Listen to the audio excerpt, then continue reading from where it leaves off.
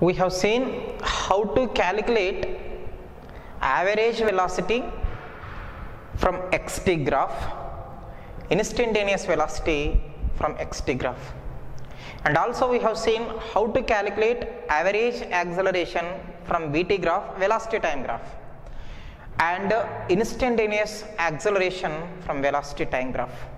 Now mathematically how to calculate those values? Let us see one example if x is function of time means position of the object varies with time as t cube minus 6t square plus 8t plus 4 then let us answer these questions.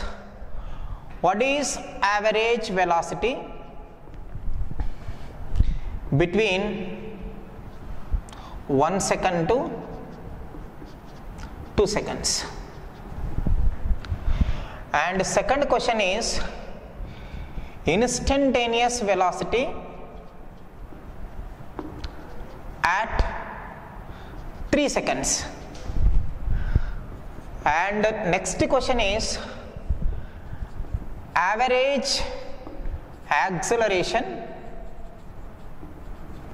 between 1 second to uh, let me take 3 seconds next fourth one instantaneous acceleration at t equal to 4 seconds let me take. So the formulas for this average velocity is v average is equal to delta x by delta t. That is x2 minus x1 by t2 minus t1 when you are going to get x1 value when you substitute t1 value in this function.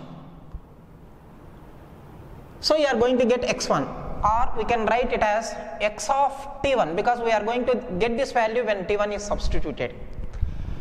Next what is x2 you will be getting x value when you substitute t equal to t2 so x of t2 also you can call x2 so x2 can be written as x of t2 by t2 minus t1 and uh, instantaneous velocity v instantaneous is equal to dx by dt.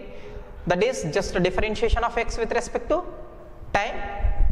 Now average acceleration is equal to delta v by delta t or v2 minus v1 by t2 minus t1 or I can write like this v of t2 minus v of t1 by t2 minus t1 and uh, instantaneous acceleration is equal to dv by dt.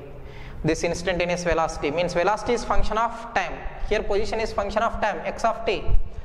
Instantaneous velocity means position velocity as function of time so v of t. Acceleration instantaneous acceleration. Acceleration is function of time at particular instant a of t. So we can write like this. Now let us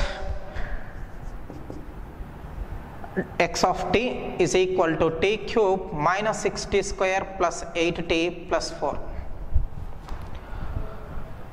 next differentiate it with respect to t. So v instantaneous is equal to d by dt of x of t or x. What you are going to get? T cube differentiation is 3t square minus 6 is constant. T square differentiation is 2t plus 8 is constant you take outside. And t differentiation is 1 plus 4 differentiation is 0 because it is constant. That is equal to 3t square minus 12t plus 8 this is velocity at particular instant of time t.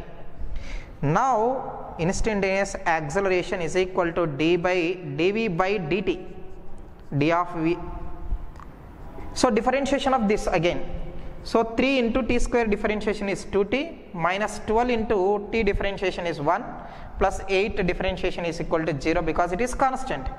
So 6t minus 12 this is instantaneous acceleration. Now let us go for solving these problems. The first problem what is average velocity?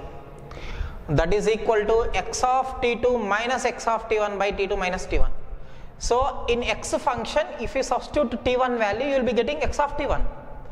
In x function, if you substitute t2 value, you will be getting x of t2. What is x function? This is. So in this, you have to substitute t2 value, you will be getting x of t2. If you substitute t1 value, you will be getting x of t1. What are t1 and t2?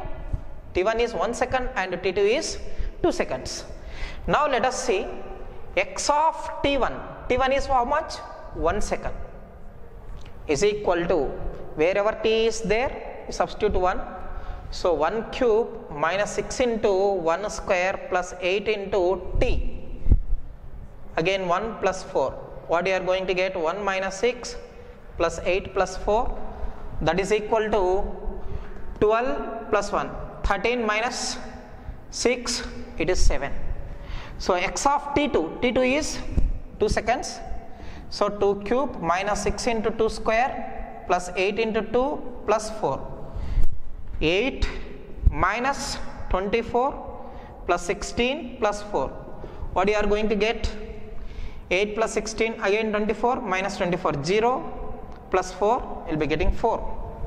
So we average is equal to x of t2. x of t2 means t2 is 2 seconds so 4 minus x of t1 that is 7 by t2 minus t1 2 minus 1. So what you are going to get minus 3 by 1 so minus 3 meter per second if x is given in meters and t is given in seconds. Now the second question is instantaneous velocity. Means velocity is function of time v of t we know. At what particular instant we have to calculate velocity? T equal to 3 seconds that's all. At that instant we have to calculate velocity. So v of t is equal to 3t square minus 12t plus 8 so wherever t is there you just substitute 3 seconds. So you will be getting velocity at t equal to 3 seconds. So v equal v of 3 is equal to 3 into 3 square minus 12 into 3 plus 8. So what you are going to get? 27 minus 36 plus 8. So 27 plus uh, 8 35 minus 36 minus 1. So minus 1 meter per second is velocity of object at t equal to 3 seconds. Next let us go for average acceleration. Average acceleration is v2 minus v1 by t2 minus t1. So by substituting t1 value in velocity function you will be getting v1. That's why I am writing v of t1. By substituting t2 value in velocity function you will be getting v of t2. What is velocity function? Here 3t square minus 12t plus 8. So let me go for uh, third problem. The third problem is average acceleration. But we need v of t1 value v of t1 t1 is what? T1 is 1 second t2 is 3 seconds. So in velocity function you substitute one value you will be getting v of t1 that is equal to 3 into 1 square minus 12 into 1 plus 8 so 3 minus 12 plus 8. So 11 minus 12 minus 1. V of T2. T2 is 3 seconds. So 3 into 3 square minus 12 into 3 plus 8. What you are going to get? 27 minus 36 plus 8. So this is 35 minus 36 is equal to minus 1 again. What is average? Acceleration v of t2 that is minus 1 v of t1 again minus 1 by t2 minus t1 in this case 3 minus 1 so minus 1 plus 1 by 3 minus 1 it will be 0 that's all.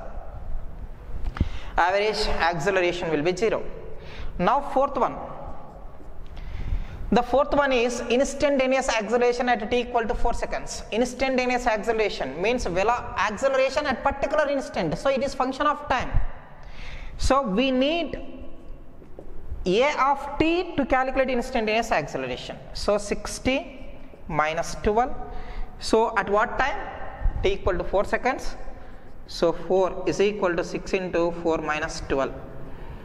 24 minus 12 that is equal to 12 meter per second square. This is about the average acceleration and uh, instantaneous accelerations.